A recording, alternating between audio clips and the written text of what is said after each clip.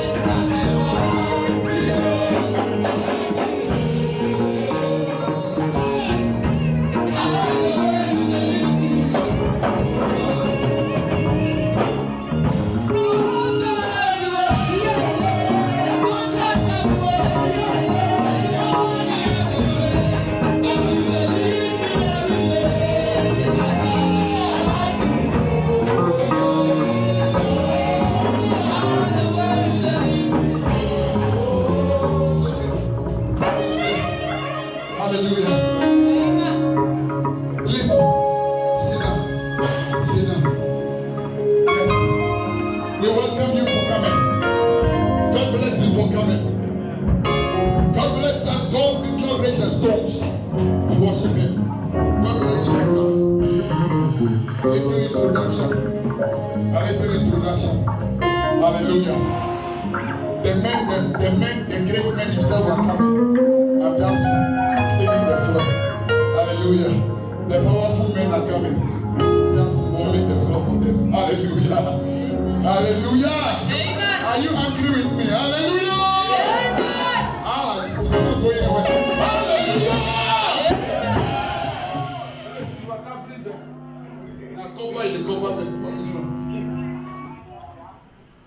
They sing Hosanna in the highest. Is this how you are going to do it in heaven? Hallelujah!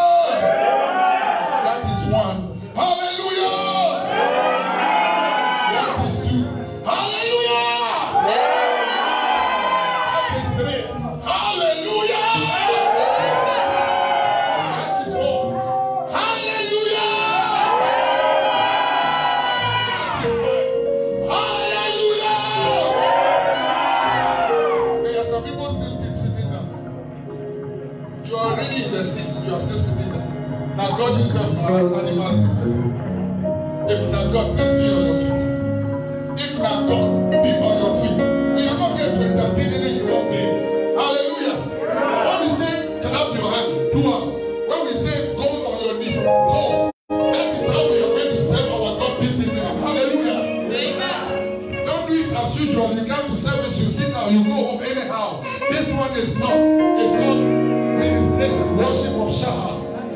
have come to worship. Hallelujah. We are jamming our last hallelujah. Are you ready to make the last hallelujah? Somebody, if God gave you life, if it's the life you are living, belongs to God.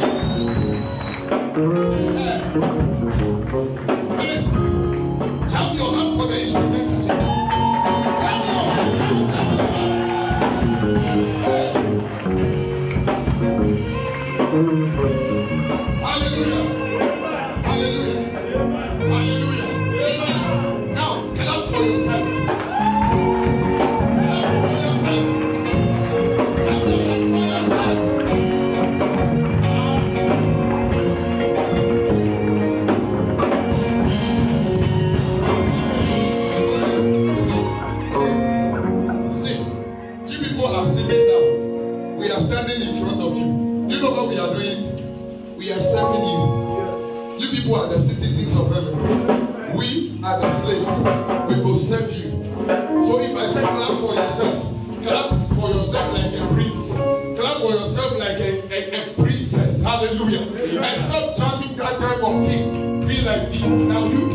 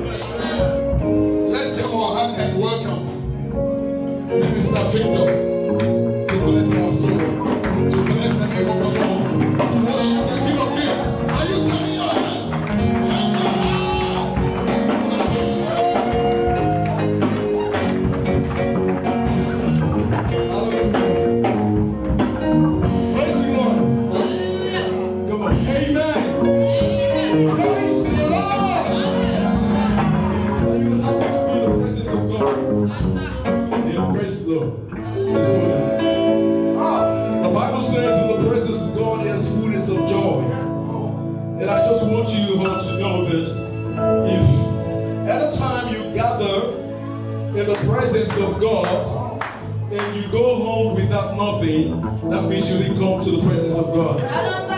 That is one thing I've known. When I was still in the Word, if I go to beer parlor, I don't go back the same. I must achieve the purpose why I came to beer parlor. I must high. So the same way I try to convert it to the ways of God.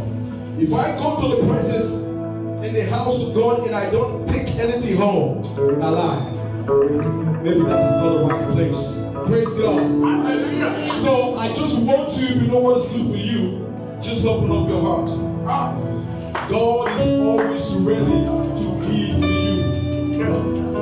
Sometimes you just praising God, we just make him listen to that problem that you were talking about. Are you getting what I'm saying? So please don't just think that you're coming to watch one one man of God to perform. Just just know that you came here to get something from God. Amen. I might not have the best voice in this place, but I just want you to know that the words that comes out from every man of God is meaningful. It's all about God. I'm going to be singing some songs. I will sing one in Ghana. Please don't mind me. Oh. You can follow. Then I will still sing one in English. Yeah, I'm not going to be going too professional because, amen. I'm not going to be going too professional because we didn't have a, a mass rehearsal. We're going to do it like a freestyle. Thank God for this, brothers and sisters. God bless you. Just try your best, you know. Do what you can do. What if you don't, just, you know, let's make it professional. And I want to thank God for Pastor Alfred. So sure. He taught my little boy how to sing. You know, I was misbehaving and they deported me to Nigeria. I leave my begin, leave everybody. I left my boy when I was when my boy was four years old, and I came back from Nigeria six years later. And the first time I saw my boy singing on Facebook, did live video. I said, Jesus, when I saw them sing like this, they said, our Pastor Alfred walk with that.